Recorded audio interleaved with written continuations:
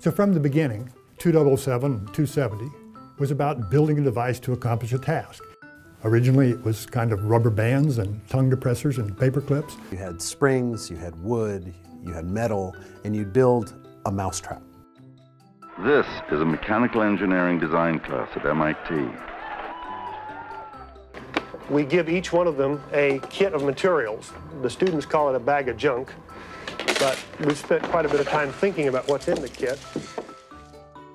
The task is really to grab this peg and try to put it into that square hole. The competition is very tough, and the ideas over here were, were really incredible.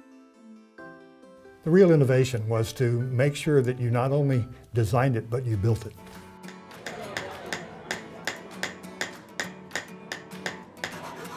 It's the class I've been waiting for. I think it's the class that every mechanical engineering major wants to do like as soon as they declare mechanical engineering. The reason why I chose mechanical engineering is because I like making things.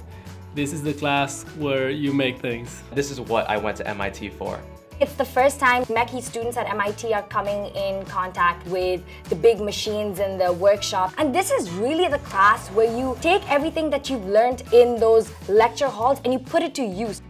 Okay, it is time to design. When I took 007 over, I was very honored because this is a historic class and I think it embodies the spirit of MIT. It's the first experience students have designing something on their own. I'm starting to see how what I'm learning applies to the real world. This class represents the MIT's motto, mind and hand, exactly.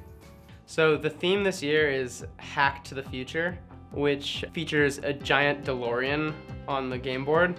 We build the competition around good mechanical engineering principles like climbing hills, optimizing power, managing friction, but all the time mix in cutting edge new engineering innovations. Now it's chips and electronics as well as things like 3D printing.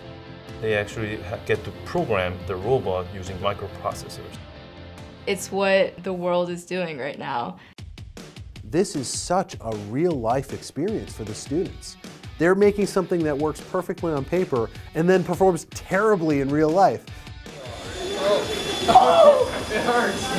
And that's what happens to all of us as engineers. This class is as mechy as you get, creating physical objects that can operate in the physical world. And I think that is the core definition of what mechanical engineering is.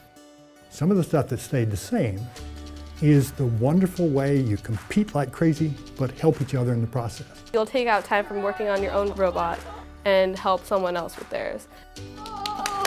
Good job. At the end, you celebrate course two and you like celebrate what you did and you show it off. I definitely feel more like a mechanical engineer. The enthusiasm and the passion that students have to build these robots, to get down in that machine shop, get their hands dirty, and build real things. This is the true spirit of 2007.